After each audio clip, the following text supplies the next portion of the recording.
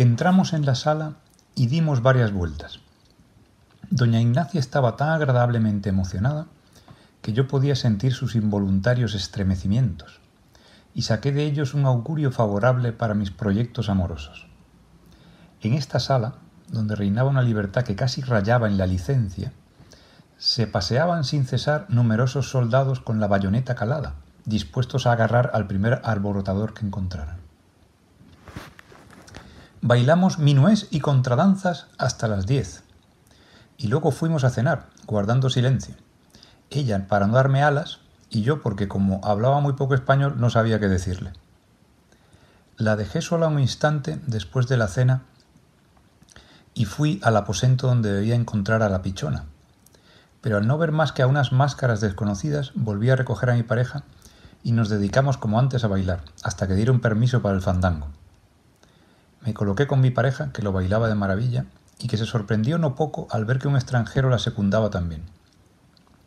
El baile nos había enardecido. En cuanto acabó, la llevé al buffet y tras ordenar que le sirvieran cuanto podía halagarle el gusto, le pregunté si estaba satisfecha de mí. Luego le dije que me había prendado de ella de tal manera que moriría si ella no encontraba el medio de hacerme dichoso, y le aseguré que era hombre dispuesto a arrostrar todos los peligros. No puedo pensar en haceros dichoso sino siéndolo yo a mi vez. Mañana os escribiré cómo todo eso puede depender de vos. Encontraréis mi carta cosida en la capucha de mi dominó. Me hallaréis dispuesto a todo, hermosa Ignacia, si es que puedo esperarlo todo de vos. Había llegado la hora de marcharnos. Salimos y subimos al coche. La madre se despertó, el cochero se puso en marcha y yo busqué las manos de la muchacha y se las iba a besar cuando ella, que pensó sin duda que yo llevaba otras intenciones, se apoderó de las mías y las apretó tanto que creo hubiera intentado en vano liberarlas. En esta postura y aparentemente sin esfuerzo alguno, doña Ignacia se puso a contar a su madre cuánto había disfrutado en el baile. No me soltó las manos hasta que, llegados a la esquina de una calle, la madre gritó al cochero que parase porque no quería dar pie a maledicencias, bajando del coche ante su propia puerta.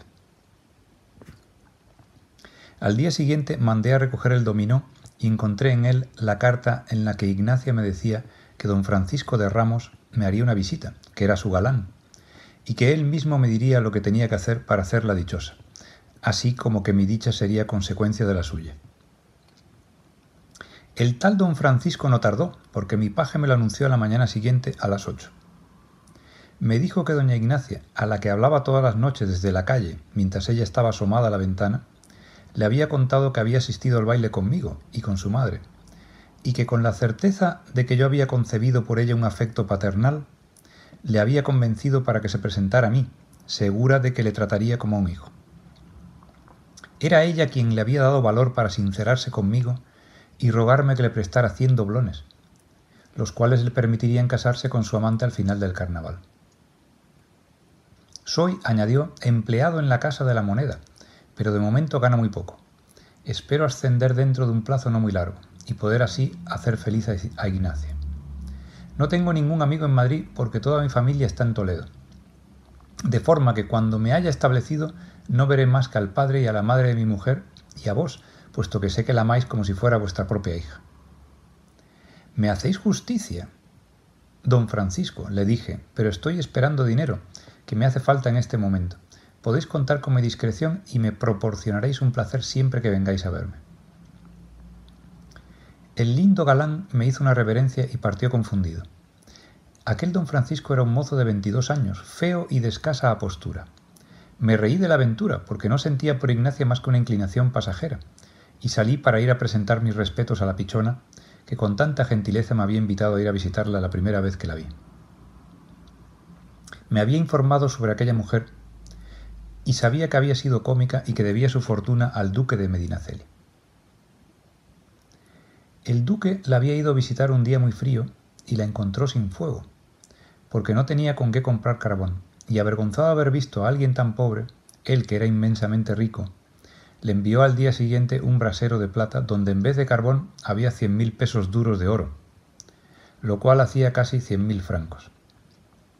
Desde entonces la pichona llevaba una vida acomodada y recibía la buena sociedad. La pichona me acogió muy bien, pero parecía triste. Le dije que como no había tenido el honor de verla en su aposento la noche del último baile, temía que no se encontrara bien, y consideraba un deber ir a informarme de su salud. No acudí porque el mismo día murió el duque de Medinaceli, el único amigo que tenía en el mundo al cabo de tres días de enfermedad.